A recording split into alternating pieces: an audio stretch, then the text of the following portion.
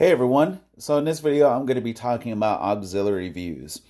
Now auxiliary views is, uh, it can be a simple uh, concept to grasp. Uh, it's not very long, it doesn't take a whole lot to explain.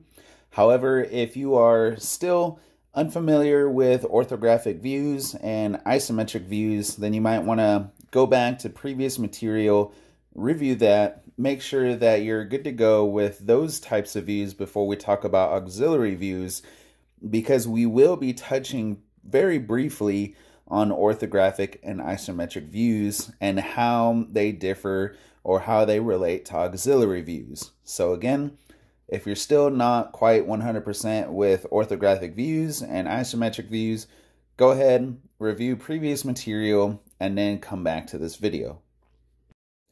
So in order to talk about auxiliary views and explain what they are and how we get them, let's start with this object here. So this is some sort of mounting bracket. And all we can tell from this view is that there are five holes total, four on the base, and one on the uh, vertically extruding uh, portion of the bracket uh, that has a little bit of a rounded top to it. So when we look at drawing this object in orthographic uh, views, that is having a top, a front, and one of the side views, this can be kind of hard to draw. Uh, we can get the overall shape uh, with orthographic views, but because that vertical part is a little cocked to where it's it's not truly centered on that base, some detail can get left out. And so if we move on to a top view of what this object would be, the top view in this case gives us the most amount of information about this object that we're supposed to assemble. Here we can see that there are indeed five holes, so we can see those four that are on the base, and then by using the center lines and hidden lines, we can see that there is a fifth one uh, in that vertical uh, part that extrudes from the base. But it doesn't it doesn't give us a clear image on just exactly where this hole is located on that piece. Is it centered um, vertically as well as being centered horizontally? How big is the hole? Um, these are sort. These are some of the questions that we need to ask uh, in order to have all the right information. And this is when we start having objects that are cocked, you know, diagonal. They have slanted surfaces um, these types of examples cannot be drawn accurately with orthographic views. Now, if we have an isometric view, that is a three-dimensional uh, representation of the object, sure, it gives us a better idea, but those are more for giving us the, the general idea of what the final product is going to look like. Those really aren't used to give you uh, dimensions uh, and, and things like that. So when we're using orthographic views, how do we portray something that is slanted or cocked, uh, you know, these sort of things.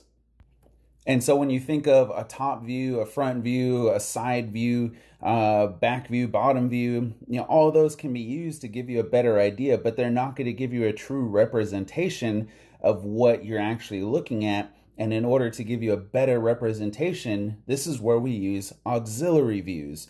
So an auxiliary view is just um, a diff it's a view from a different angle. So it's a different point of view at this object so that way you can see information or you can see uh, characteristics of this object that normally could not be drawn using your standard top view, front view, right view, left view, whatever it is. We use the auxiliary view to display the information that cannot be drawn accurately or truly uh, by using orthographic views.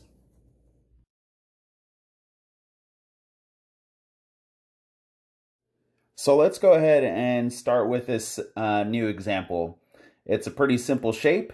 It's just, um, you can think of it as a strip that has been bent at one point uh, one side has been rounded off and a hole has been cut or drilled into it. So here we have an orthographic view. Uh, we have our top view, we have our front view, and we have our side view. Now, from each of these different uh, points of view, we can tell that there's a hole in this uh, particular piece. But um, all three views don't give us uh, a point of view of that face that has the hole uh, head on. Uh, we, we just know that it's there by interpreting the lines that are used to draw it.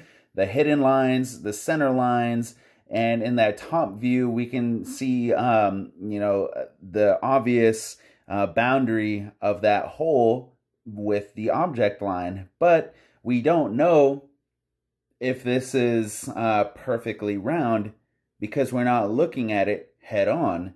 This is where we would use um, an auxiliary view to give us a better picture of what this face looks like. So again, this is a part with a slanted or an angled face that cannot be um, represented accurately using an orthographic view and um, an isometric view. So if we look at a at what an auxiliary view would look for this, it's going to look something like this.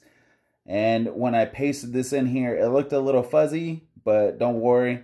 I actually made the part in the shop, so let's go ahead and take a look at that.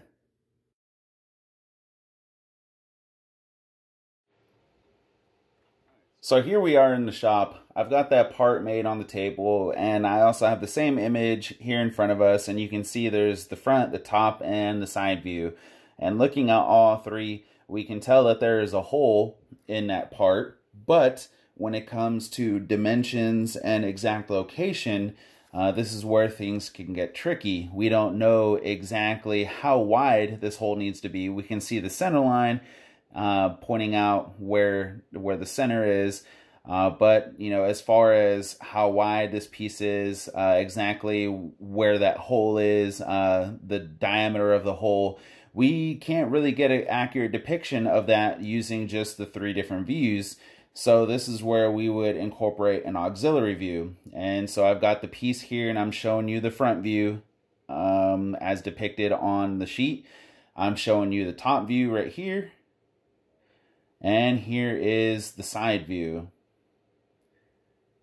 So, with all three of those views, none of uh, none of them are giving us quite uh, a perfect representation of that slanted face. So what we need to do is give uh, the reader, give uh, the welder fabricator an auxiliary view, which is going to look something like this. It's a view uh, that gives you a representation of that slanted surface straight on so that way you can accurately see where that hole is located uh, and any measurements that you might need.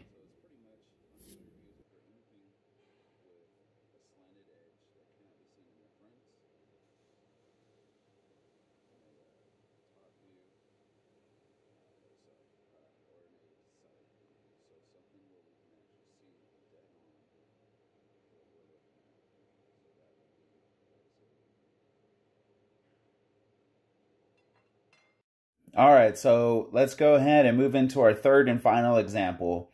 So this is a variation of something that I've had to build in the past. Um, it's a bracket that is part of an up armor system for vehicles in Afghanistan. This isn't the exact um, design. I don't even know if I can actually share that actual design, so that's why I made this little offshoot uh, just to show you another example where an auxiliary view would be required. So in this in this example, there is a slanted surface or there is a part of the of the bracket that is at an angle. And this part happens to have four holes that need to be drilled or cut into it um, in order to, you know, bolt other things to it. But using a standard orthographic or isometric view, uh, dimensions for these holes uh, cannot be accurately drawn. So I can't give you the distance from the edges. I can't give you any kind of distances from each other. I can't give you diameters of the holes uh, without being able to give you a point of view from an angle that would allow you to look at this part or at this surface head on. So even if I were to give you, say, like a, a, zoom in view on the front, top, and the left side, and then I were to give you an isometric view, you can see that the holes are there, but no matter how I draw dimensions for these holes, it's just not going to work out. And that's why I've not included them here. But what we can do is create an auxiliary view, uh, which is just going to give you another point of view from a different angle uh, so that way you can look at that surface or you can look at that side that's at an angle head on and then here I can give you all the information that you need to know in order to cut or drill these four holes into the face of the bracket. So that's pretty much auxiliary views. It's just an additional view uh, from a different angle that will allow you to look at a surface or a part of something that you're building that happens to be angled or slanted or something like that to where it cannot be accurately drawn or accurately depicted using an orthographic view.